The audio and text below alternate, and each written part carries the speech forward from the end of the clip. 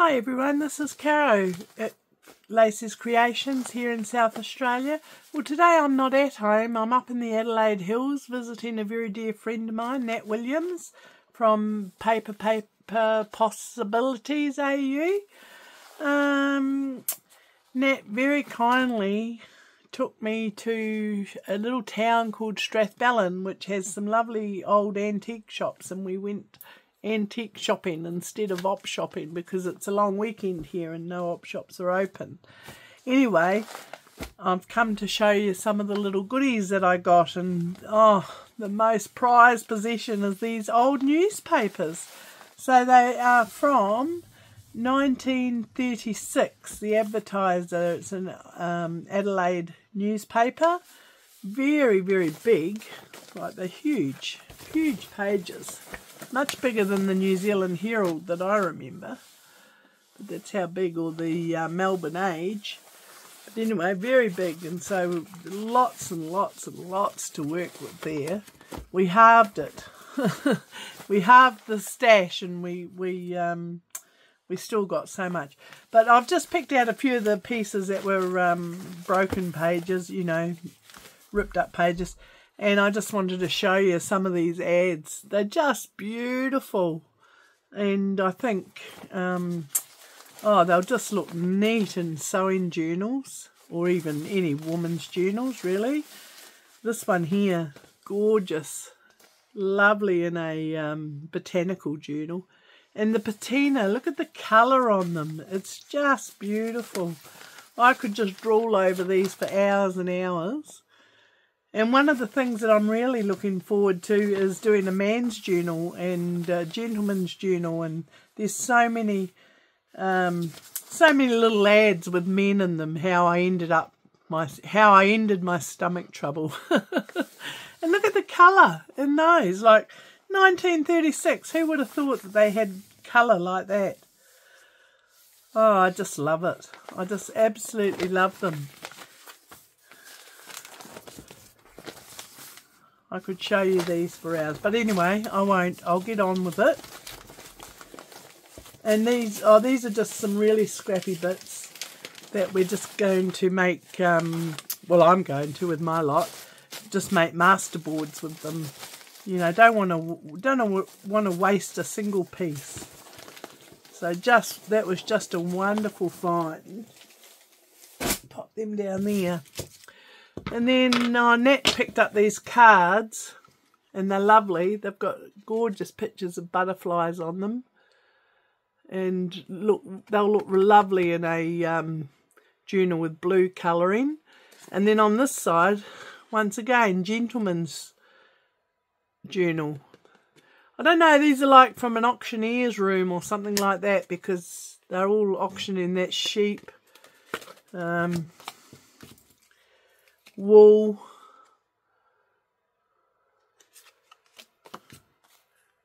Oh, tin.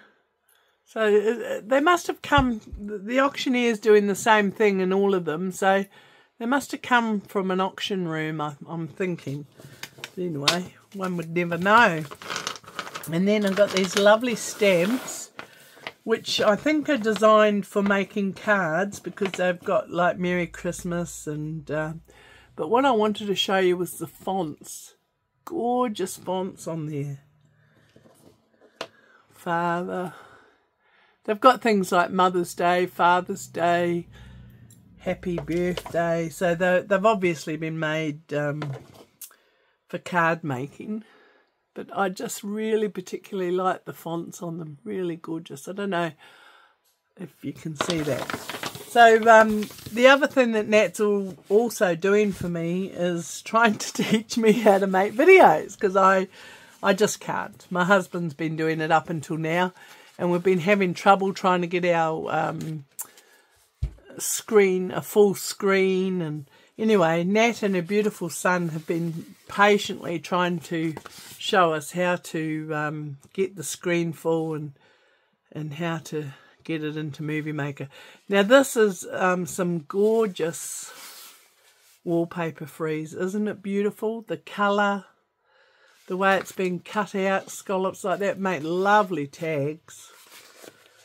So I've got two rolls of that. That's lovely. And then one of my main aims was to try and find a few more old books. I've got shelffuls of books at home, but I don't know. I still always struggle to find one that I really like to make journals with. And these blue ones, that's like a gunmetal blue. I thought they'd be lovely. Um, Nat kindly gave me this bit of vintage. It's like a damask material, really. It's got a nice shine to it. And I thought it would look lovely on the spine of one of these books, these blue books. I'm um, working with Lydia's digitals from Raindrop Lila. And I've made a soft cover back in my motel and I just um, I'm just not happy with it. And when you're not happy with something you just got to ditch it and start again. And so I'm thinking if I get onto this hardcover I quite like that name on there Lady Hamilton because I thought well I could call that the journal Lady Hamilton because it's got a lot of pictures of ladies in the digital. So that's that. And then there's a few laces that um, Nat's given me to go in that. And this gorgeous lace as well. Lace. This is just an old Commonwealth Savings Bank envelope. £17.11 on there, so it's quite old. I can't see a date, but the fact that it's in pounds shillings and pence must mean it's from the 60s and then these are the couple of old books that I found that I quite liked. This one I thought would make a lovely gentleman's journal journal. It's got these two men on here lovely spine and that lovely embossed flower on the back. I don't think I'd have to do too much to this. Just gut it and um, you know strengthen it and use that as a gentleman's journal. And then this one, it's got this lovely embossing on it, there and around the edge. And I thought that would, and it's really wide, so uh, I'd say that's a good three inches wide. So I thought this would make a lovely botanical journal without doing too much to the cover. Lovely inside pages. Just really beautiful, neat feel. And the patina, this is an um, old encyclopedia, and it's from what year? I can't see the year, just at a quick um, look. But the patina in it is lovely. Look at that. Look at the colour of those pictures. Just beautiful. So I think that'll make lovely journal pages and um, particularly I think that cover will make a lovely botanical. And then I got this old uh, 193 Pitman's commercial typewriting book. Now any of you that did Pitman's at school you'd remember these books but this is a 1933 copy so it's a bit older than I. But um, I definitely did Pitman's typing and shorthand at school and that, as you know, these have all mixed fonts in them, numbers, you know. So they make neat journal pages as well. An old envelope there. That was that. Oh, and then these photos. we went the third shop we went. There were there were five um, antique shops in Strathalbyn, and the third one we went into, um, it was uh, run by a, a, nice old gentleman.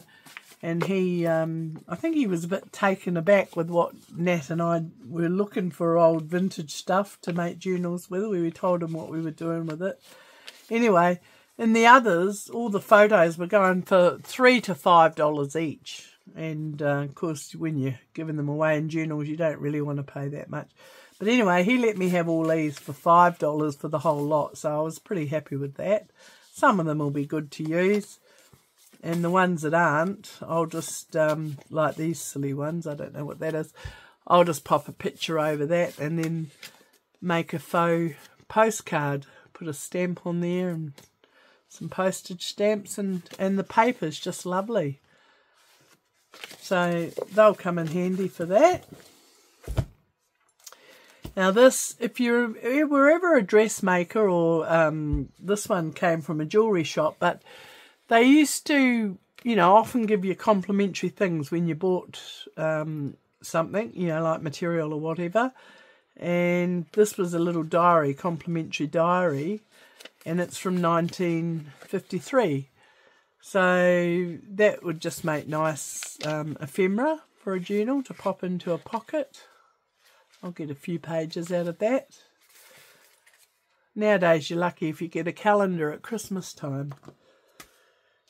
Then my prize possession, I was pretty happy finding these French stamps because the digitals that I'm working from from Raindrop Lila are French and um, um, I went through my own stash at home, you know, ready to come here and I only had quite big stamps which you you know they're pretty but you can't always use them.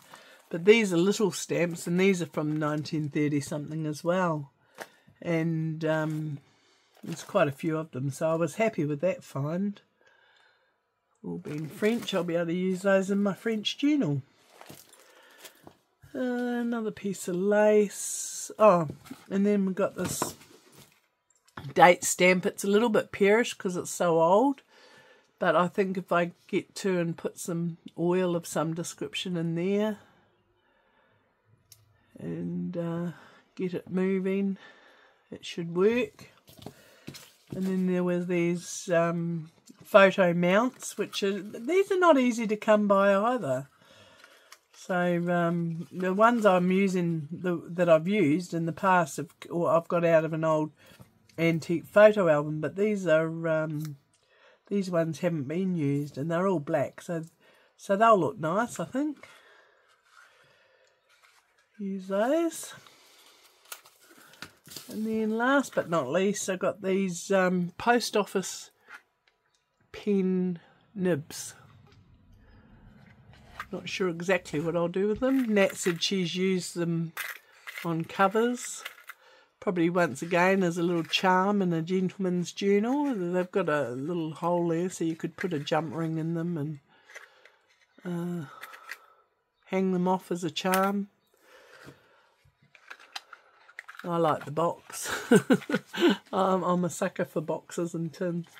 So, yeah, so that's all I got. That was my little stash. Um, you know, I'm really excited to use those newspapers with the beautiful patina on them. It's just a beautiful caramel colour. It's so that's just so lovely, and um, I'm really happy to use those. And I'm really thankful to Nat. She's um, patiently trying to show me how to do videos, and um, I've got a new phone, so we've been doing a few um, sample videos up one way and up the other way to see to see what's what. Because the ones that my husband and I have been doing we would with the screen it's just been too small on the screen. So we've been doing something wrong. Anyway Nat and her, her uh, darling son they're patiently trying to teach me. I'm a silly old woman. But anyway that's all there is for me today. I hope you're all having a great weekend. And um, thanks very much for watching See you later. See you in the next video. Bye.